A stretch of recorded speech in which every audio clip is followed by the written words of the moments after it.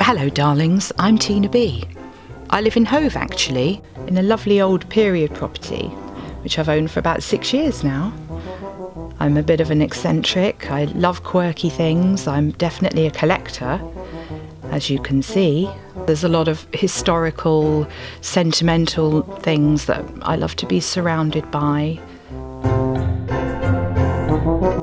Yeah, I'd like to describe myself as a creative person. Everything I do has to be amazing, symmetrical, and vibrant. And if, if I'm preparing food, it has to be rainbow filled.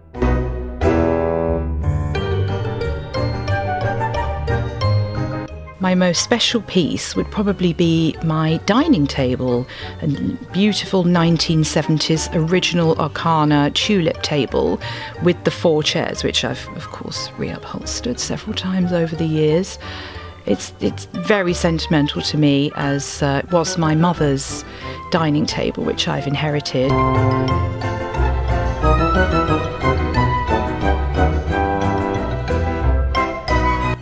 Some of my favourite treasures would be part of my collection of uh, antique vintage signs. Oh, I love typography. I love words. The saucier, the better.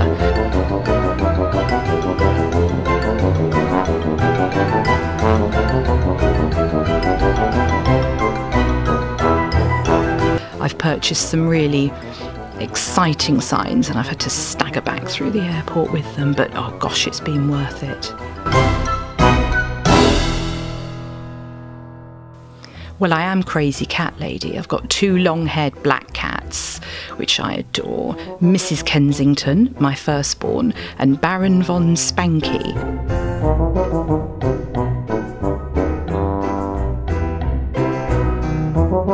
My most recent treasure is my lovely palm tree floor lamp, which is a very glamorous, very Saint Tropez addition to my home. It's so gorgeous.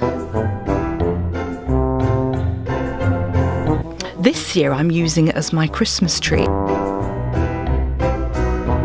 I just adore my old French cabinet. It's a lovely vintage piece that I picked up in Lewes actually from a cafe that was closing down. I recently came across one of the Biba tins in Eastbourne. Actually, I had to fight an old dear over it, but I managed to get it, and it was a fiver. So that's me and my treasures. Thank you for swinging by. Hope to see you again.